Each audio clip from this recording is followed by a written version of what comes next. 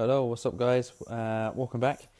Um, so today I'm just going to go through the process of replacing some front pads. So this is on a Audi Q5. Uh, this will be the same process on a A5 or an A4 as well if you've got the same brakes. So uh, yeah, so check this out. So obviously you need to jack the car up and uh, take the wheel off. So before I jack the car up, I'm just going to uh, loosen off the wheel bolts. I'm not going to take them right out, just literally just cracking them off a little bit just to loosen them up. So then once I've got the car jacked up uh, in the air, uh, I can get the wheel bolts out nice and easy. So yeah, so I've just got a nice long bar. Obviously make sure you've got your locking wheel nut and then uh, just loosen the bolts. They are a bit tight.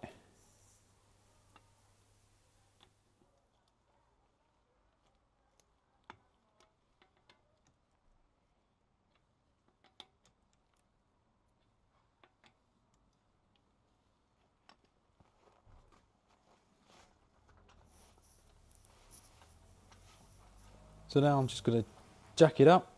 Make sure you find the right jacking point under the car. There should be like a little tiny kind of uh, triangle uh, symbol underneath uh, on the sill, on the bottom of the sill.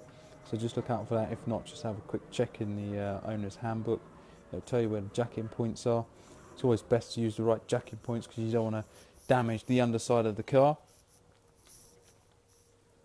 So I've literally just jacked it up to the point um, where I've just about got the wheel off the ground. Don't need to go much higher than that. Uh, so yeah, so now that the, the wheel bolts, bolts are loose, you can just take those out. I'll speed this bit up just to uh, save the pain.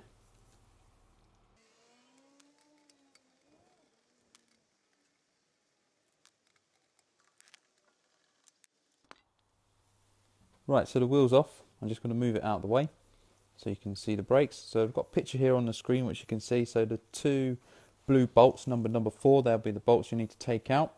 And then you've got that spring clip, retaining clip number eight, uh, which will need to come off as well. Uh, you will need to push the piston back as well. Um, I'll get to that point in a moment. So I'm just putting a tray underneath the car uh, where the where the brakes are, where we're working, just to catch any dirt. Now what I'm doing here is I'm just going to get this uh, large screwdriver and just putting it in between uh, the disc uh, and uh, the caliper and I'm just pressing the um, the pad back in. So what I'm effectively doing is just it's just squeezing the piston back inside the uh, the caliper. So this saves me a bit, little bit of pain later on when I've got when I've actually got the uh, caliper off. It also makes it a lot easier to to actually get this spring clip off here. So this is quite tricky. So just in between the disc and the actual spring, I'm just going to push it in and then push that um, caliper back and then that allows me to get the spring clip out really nice and easy. Yeah, you, you don't want to damage that. Uh, so on the back here then we've just got a 13mm nut. Uh, so I'm just going to undo these. So there should be two on, on the back here. So uh, you can just see if I just show it on this example. So there's one at the top and there's also then one at the bottom. So all we need to do is undo those two um, bolts, pull them out. They're quite long, uh, they're not particularly tight. Uh, I'll mention it again when you come to doing it back up. You, you, don't need to over tighten these. They're not they're not massively tight. So uh, just just be careful when you do do them back up. So as I said, unbolt these.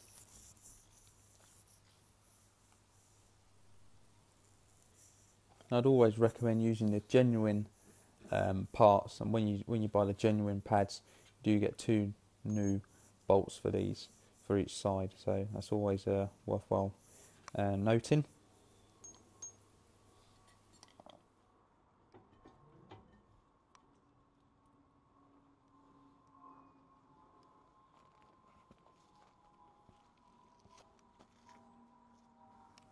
Now in this picture here, what I just want to uh, draw your attention to is the uh, the pad wear sensor. Uh, so you can see it's just labelled on this picture here. So um, on this side, you've got a wear sensor, and you can see the, the wire comes out and just tucks underneath um, a little hook, which is part of the actual caliper. So um, you can't really see it from, from this angle, but it is there. So I'm just going to go ahead now and, and undo this wear sensor. So this is a little bit tricky, um, and I've got some more pictures to show you. I'll put them up on the screen um, just so you can see exactly what I'm doing because it's not the best angle um, and to get in there with two hands and uh, trying to get it out at the same time it's pretty tricky. But you're going to need like um, I use a little pick, which is quite good, or a little um, tiny flat blade screwdriver. It's also pretty good for getting in there. Um, so what you're going to need to do is undo the clip and then twist part of the sensor out.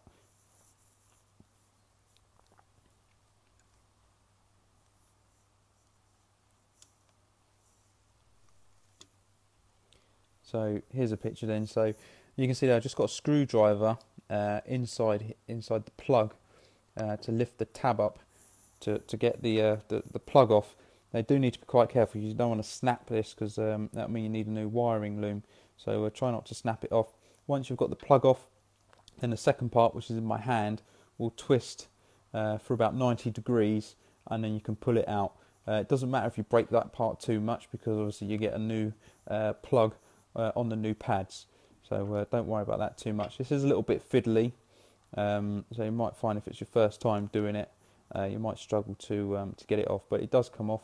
A little bit of perseverance with it, um, and, and you get there. But you just the main point is is uh, try not to break anything, um, because you used to see it all the time. Cars are coming where they've been somewhere else and had some pads done, and you know whoever's been working on it has broken the plug, and um, they just wrap it back up with a bit of tape. Um, after a while, the wiring will just get corroded, and um, your brake pad warning light are likely to come on before it should do. Okay, so once you've got that plug off, um, what you can do then is start to remove the pad. So I'll, always remove the, the one that's closest to the piston first. You can see on that picture there, it's got a bit of a spring clip. You can see the sensor there. Uh, and then you can remove the other pad uh, which is on the on the on the back side if you like. Uh, you might need a, a hammer or uh, some other large tool to give it a bit of a whack because sometimes it is a bit um, stiff, a bit stuck in there. And it's got a little locating pin which actually sits um, inside the caliper, so it actually locates the pad in the right position. So you can't get these pads uh, wrong. You can't get them on the wrong way around. Uh, here's a quick picture of what the pads look like before and after. So you can see there's actually quite a bit of um, uh, wear on these pads, not much left on them. So with the new pads in, pretty simple.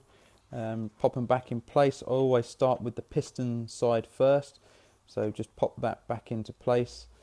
Um, it will just kind of clip in.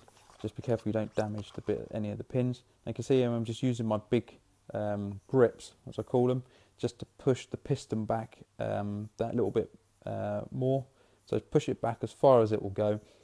Um, that will allow for the uh, for the new pads to fit in for the for all the new material. So I said I always start with that um, piston facing pad first. Just put the uh, wiring loom through the middle of the caliper, and that will just clip into place. Once that's done, you can then fit the other pad in. And sometimes on new pads, you might find I've got a bit of a, a um, sticky peel on the back of the pad, so that's just to allow it to, the, the, the pad to actually stick to the caliper. So when you take your foot off the brake, the pads can kind of release and, and, and move back. Now I always put a little bit of grease um, on where uh, uh, the pads sit on the carrier. So this is the genuine grease that I'm using here. They kind of call that Plastilube. Now you do hear people use like the copper slick, copper grease. Um, just just be careful what you use. It's not going to get affected by too much high temperature because obviously brakes get hot and if it gets too too hot it will just uh, kind of melt away. Uh, so I'm just using a screwdriver just to clean up the carrier, so where the pads fit. So I'm just cleaning off any crap that's on there. Uh, this will just allow the new pads to sit on there and move quite nice and freely uh, in the carrier and uh, help reduce any brake squeaks, etc. So I'll just uh, I'll, I'll do another little close-up shot of this so you can see kind of what I'm doing.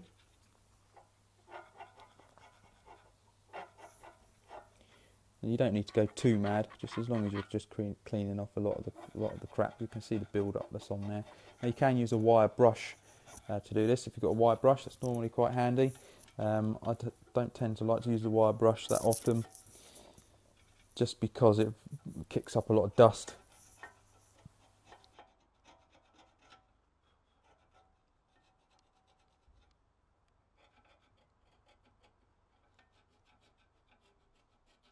So you can see I'm just kind of getting in there, and just scraping the um, any of that build up of brake dust.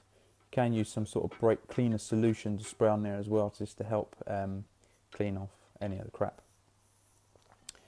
So once that's uh, done, I'm just going to put that um, wiring loom, tuck that back underneath.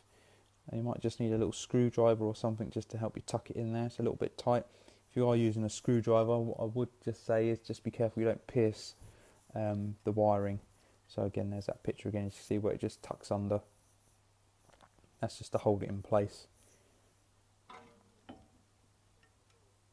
So it is a little bit tricky, bit bit fiddly.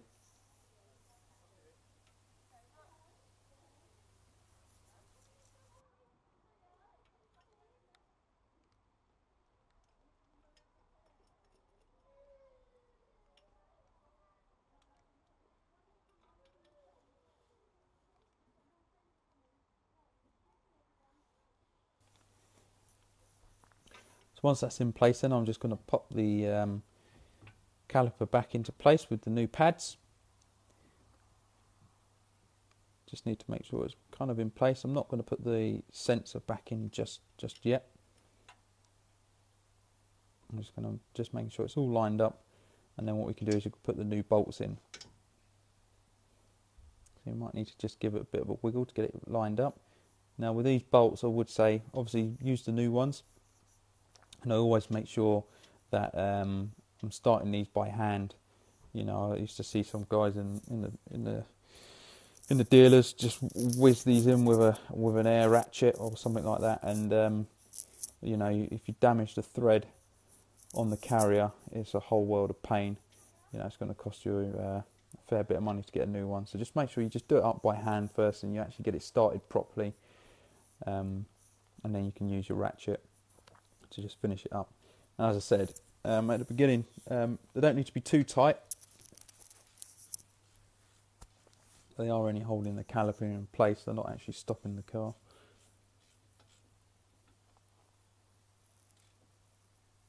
And they are only aluminium bolts a lot of the time.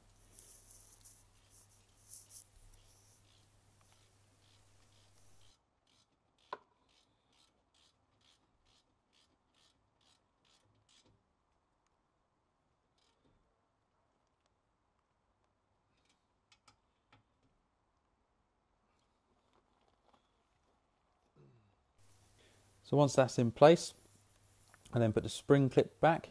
So I'm just kind of lining it up ready to where it needs to be. And then again, I'll use the screwdriver to wedge it between the actual disc and then the actual spring clip and just lever it over. And then you just need to give it a bit of a positive push to, uh, to just clip uh, into place. So it can be a little bit tricky, but I found this is the best method. And then just giving it a bit of a tap with the butt of the uh, screwdriver just to make sure it's firmly in place. You can see there it's all back on. Next step then is to um, put that wiring uh, loom back in, so to clip it back into place. Um, again, it might be a little bit tricky, a little bit fiddly. Um, it never quite fits in. It's normally quite a tight fit into the um, into the holder where it sits in. I'm just using the end of my ratchet uh, here just to tap it kind of into place just be really careful here that you don't crack it and, and break uh, the plastic. Um, it shouldn't need that, that much force. But I was just using that just a bit, a bit of a tap into place to get it nice and lined up. Um, and there's a screwdriver to uh, just help twist it round.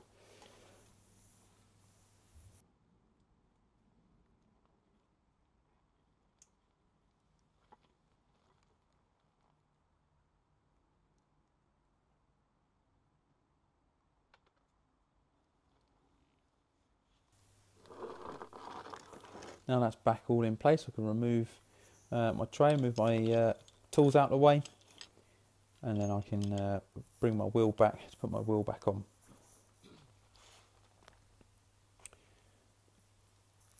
So that's pretty much it really. Uh, obviously, you need to go and repeat this on the opposite side, um, which I haven't I haven't filmed. Well, I have filmed, but I, there's no point in me putting it up. It's exactly the same process, but on the other side.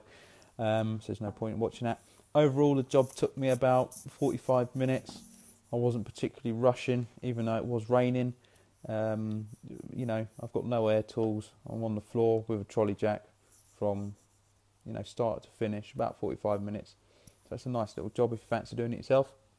What I would say is though, definitely make sure that you pump your brake pedal before you go anywhere now. So make sure you jump in the car before you drive off. Give the brake pedal at least five or six um, presses. You'll feel the brake pedal go right the way down to the floor, probably on the first first press that you do. That's just actually taking up any of that free play that was there now from when we pushed the pistons back. I'd also make sure that you check your brake fluid level. Make sure that's all topped up. Um, you probably would have found if you did check your brake level before you started, it probably would have looked a little bit low, but just check it to make sure it's okay.